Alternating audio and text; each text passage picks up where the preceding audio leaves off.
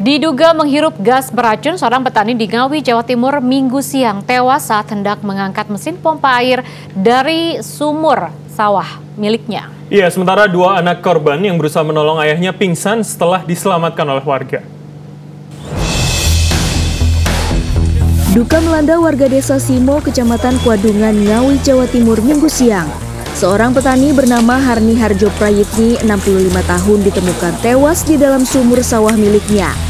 Diduga korban tewas setelah menghirup gas beracun dari dalam sumur saat mengangkat mesin pompa air dari dalam sumur sawah miliknya. Sementara dua anak korban pingsan saat hendak menolong ayahnya. Kedua kakak beradik ini langsung dilarikan ke puskesmas Kuadungan. Dua dua udah di dalam. Dua pingsan, iya.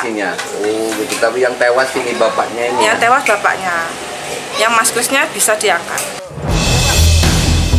Untuk mengevakuasi jasad korban yang berada di sumur berkedalaman 7 meter, polisi terpaksa mendatangkan tim SAR ke lokasi karena diduga sumur mengandung gas beracun.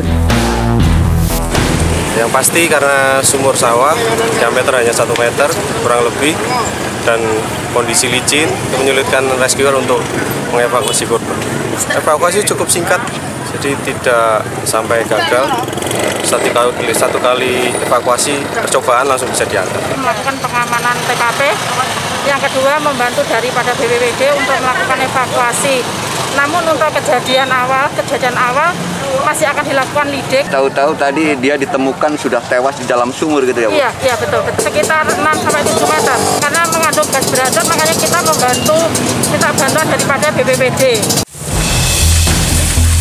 Setelah dievakuasi dari dalam sumur, korban langsung dibawa ke puskesmas Kuadungan untuk divisum.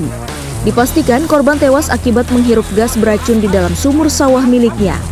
Selanjutnya, jasad korban diserahkan ke pihak keluarga untuk dimakamkan di tempat pemakaman umum desa setempat. Inam Tohari, Kontributor Ngawi, Jawa Timur.